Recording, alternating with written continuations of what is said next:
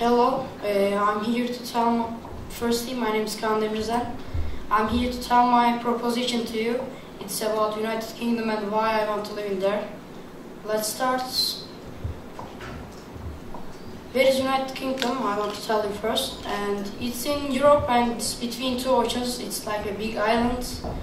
And I want to live in there because there is lots of things to see. There is lots of things to travel and you can you can uh, get what you want and it's easy to live in this city. And my favorite part of the, country is the buildings of uh, this is Westminster Palace and it's the biggest palace in London I think and it's near the river. Uh, it's a big city and when the tourists comes uh, they always take as photos and the Big Ben. It's a clock tower and it's near to Westminster Palace.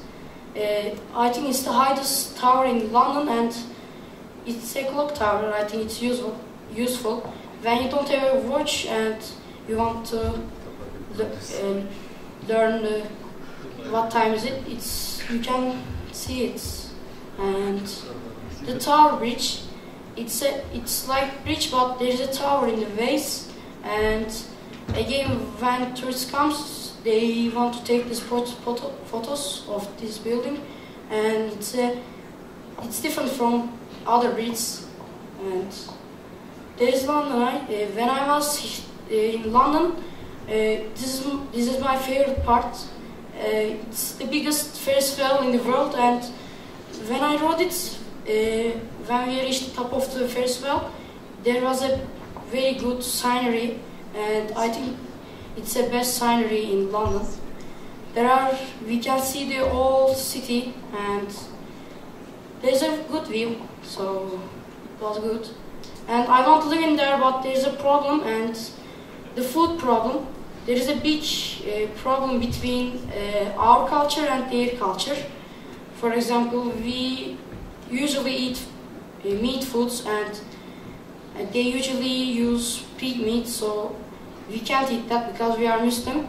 And when, when I was there, we always eat chicken, and we can't eat something. And this is problem, I think.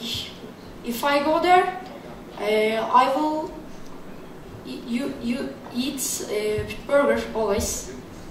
And thank you for listening me.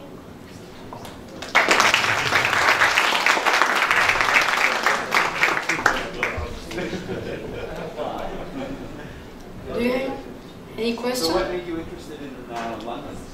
Uh, I was uh, 10 years old when I go there and it was very interesting. It was interesting experience for me.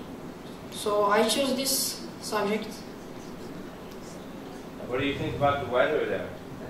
It's always sunny when I when I go there.